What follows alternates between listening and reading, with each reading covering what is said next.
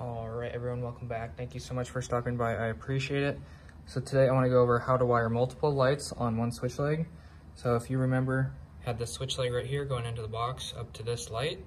And now I'm going to show you how to wire multiple lights um, together. So if you want to turn on two lights at the same time off one switch, this is how you do it. Maybe you already know, so maybe you already don't need this video, but I appreciate you watching if you already do. Um, so I already went ahead and cut my piece of wire right here. And once again, you can strip this before you put it in the box or put it in the box and then strip it. For this scenario, I'm probably just going to strip it ahead of time. I'm probably gonna go about 10 inches to a foot. I'm just going to do this really quickly. If I can get it just right. And then sometimes these tabs can be hard to open. Um, these ones are very loose, so that's good. Sometimes you can just push on it. Um, and you can go either the top or the bottom. There's these little push tabs, and that'll hold the wire in. And you just want to get enough in there. Um, code is about quarter inch, I believe.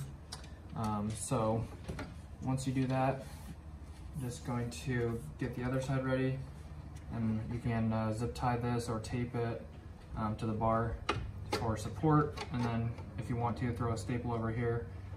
Um, and then once again just pick your your height your depth on your insulation right here just enough to get it into the box. I think I left this wire a little bit long so this one's gonna be a little bit longer. And it's really hot out in the garage so I decided to open the garage so hopefully you don't hear any extra noise out there. Um, so once again, just cut your paper off and then go ahead and push that tab down again and push your wire inside. I think people are rolling out their garbage cans. It's garbage day tomorrow. And then pull your wire through and usually it's not this bad of a scenario because you're not putting two lights next to each other, but just for the demonstration, that's where I had this last, these boxes put at. So it's a little bit more inconvenient for me. Um, so there, you got your two wires inside of your box right there. And so this one, you're just gonna fold it up. That's all you gotta do on that first one. And the second one, you're gonna have to tie the grounds together. Um, so you can uh, meet the grounds in the middle. I'll move you guys over here so you can see what's going on here, sort of. So you can put the grounds in the middle, however you want to do this, whatever your style is. If you want to meet the grounds in the middle, if you want to meet them at the bottom, if you want to meet them at the top. Um, it's really just up to you. I'm just gonna, well, I'll just move them at the top. Meet them at the top, I guess. And it's kind of nice that this one is short already because I gonna need to add a pigtail, so that's about the perfect length. So I'm gonna grab my wire strippers and then just cut this first one or second one. And then I'm gonna have to make a pigtail because I don't have one at the moment. So let me grab one real quick. Here, I found an old one on the ground. And then I need a couple wire nuts. So found a wire nut, found a pigtail. Just going to line these up tie them together. And then you can either tie the whites together and then the blacks together, or you can just skip it, depends on what your company wants or what you prefer. Um, but if you do pigtail these, then you won't have a problem. So if you take out a light, the other lights on the row, like, let me just say like, you need to pigtail your grounds no matter what, so that's required. Um, but it's gonna make it easier and less problems if you tie these whites together and pigtail them, and then tie these blacks together and pigtail them. So if you ever take this light out down the road, it's not going to make this light stop working. Um, same thing with your plugs, um, but it's really just up to you and how quick you want to do it. Usually, um, usually for two wires, it's like 50-50 if you want to just leave it unpigtailed and just fold these into the box. Um, but if you do like three wires in this box, if you ran another wire in here and ran it to another light, then it's usually always gonna pigtail more than two wires. So really just up to you. And for the sake of the video, I'll probably just skip wire nutting the rest of these.